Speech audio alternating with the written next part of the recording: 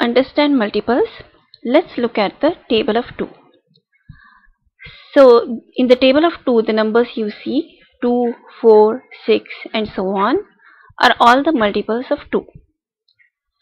So how do you get a multiple of 2? You multiply 2 by another number and that's how you get a multiple of 2. Similarly, the numbers that come in the table of 3 which are 3, 6, 9, 12 and so on are all the multiples of 3. So if I look at 15, 15 is a product of 3 and 5.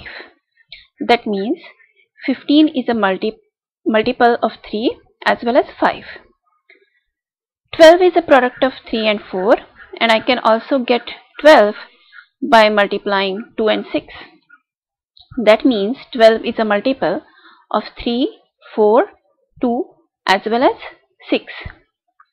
But can I also do um, product of 1 and 15 and get 15? And can I also get 12 by multiplying 1 and 12? Yes.